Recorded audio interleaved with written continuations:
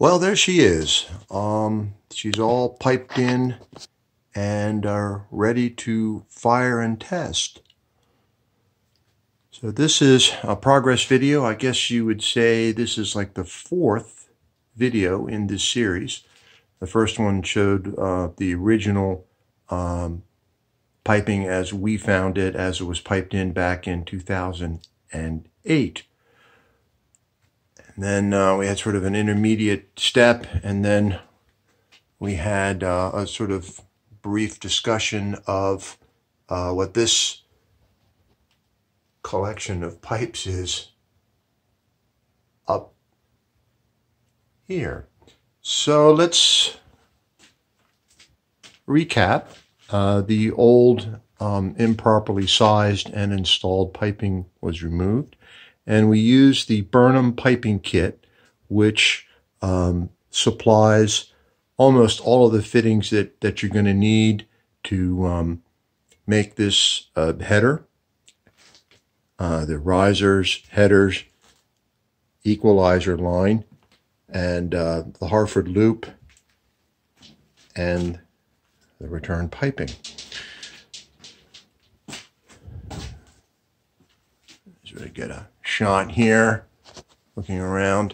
So this is a two inch, two two inch um, risers, and this is called a drop header, as the header is below the um, outlets. you you have to use an extra um, couple of fittings and nipples. Uh, this is we used a five and a half inch nipple here and a six inch nipple here to make certain that this sloped in this direction allows the water to drain back to the boiler. And this is three inch. This is what's called out by the manufacturer. And this is the minimum size of header that you should use when firing this size boiler. Let's uh, get another shot of the specs. There. This is an oil-fired boiler. They um, don't want you firing this in gas for political reasons. This is their call out for the Hartford loop. So um, most of the time, uh, most people do the Hartford loop with a T, but they like using the Y. So we pushing it down. This is the uh, wet return here. This is the original piping from the 30s. Uh, the check valves there as part of the pump return, uh, the steam pump return system or return trap. You can see someone's really chowdered them up to get try to get them apart. So we don't know what we're going to find in there. And as, as you can see, there's the new piping with the new drain. If you go back um, on the original video of this series, you'll find that this went directly into the return without the Hartford loop. So we had this a little bit higher than what's called for uh, because we definitely want to keep this check valve underwater, keep it wet, to make sure it works properly. So, oh yes, so this is inch and a quarter, and, and this is inch and a half. Now, once you get to this point here, uh, because of the subtle changes that we made here with this piping, this isn't going to work with the kit. So we bring our own piping and um, we make certain that this will work. So some of these uh, nipples here are special lengths. So this is exact. This is not a six inch nipple. That's a six and a half inch nipple. Uh, let me show you what we got here. This is the two and a half inch steam supply, which we've tied onto here. This is the original. And this is a 10 and a half inch nipple because we want to get it to line up here. If we were installing this boiler new, we would be able to shift the boiler to be able to use a standard nipple there. But because that is a fixed point in space, and the boiler pretty much we don't want to shift this boiler around because it's really not our boiler we're not bringing it in um, we had to, uh, this is now a fixed point in space. We had to dial that in and fit that. Let me come around here to the other side on the return. So on the return, we've got a nice, lovely Webstone um, full port purge valve there to really drain that quickly, get, get rid of a lot of the sludge. Um, it's a male by female three quarter inch full port. And then we put a, a hose fitting on the end. That really works very well for, for draining it. And then we got a bushing on the end to so you can remove that, really get in there and dig out all the goodies if you need to.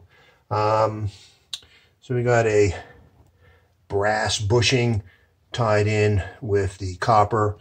Uh, again, the, this this water has a pH of about you know lemon juice, so uh, there's going to be some corrosion here. We're going to uh, customer is going to get uh, get their water treated to uh, bring down the pH. And we got a new backflow preventer here, um, and uh, we've reconfigured that to make it a little bit uh, a little bit neater. I think um, probably could have put a valve here at some point. Um, maybe next time. Also, we're going to probably increase the size of this uh, barometric draft regulator. Um, it's going into a fairly large chimney, which was originally designed to pull oxygen through uh, a pile, a big pile of burning rocks. So this chimney, when this gets going, is probably going to have a hellacious draft and will tend to uh, um, pull the flame uh, off of the uh, burner head here if the draft gets too high. Uh, this is a, a tankless coil which has been uh, deactivated and the um, they've got hot water there from the electric water heater. Uh, the VXT had shown 35, probably not true. It's um, probably been reset a couple of times, but uh, we had to, we got this tag, and now we're starting a new um, process so that uh, we can keep track of how much water is lost. So uh, today's date, and it was 035, and then we push the reset button. So now it'll read zero, and we'll start again. So we checked the pigtail.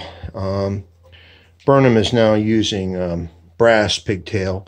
Uh, we checked the pigtail. We took this off here and uh, blew into it, and it was free. So uh, that's fine for now, but as soon as this clogs up, this gets removed and we're going to put on a, um, we're going to put a brass one on.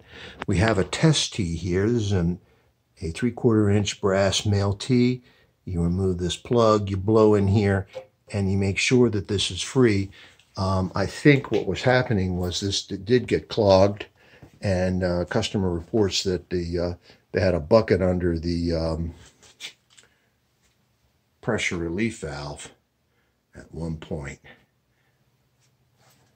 Uh, probably because this guy had uh, clogged and the pressure was getting too high and tripping the valve. One of our little tricks that we like to do is to remove the sight glass fittings and come out with a short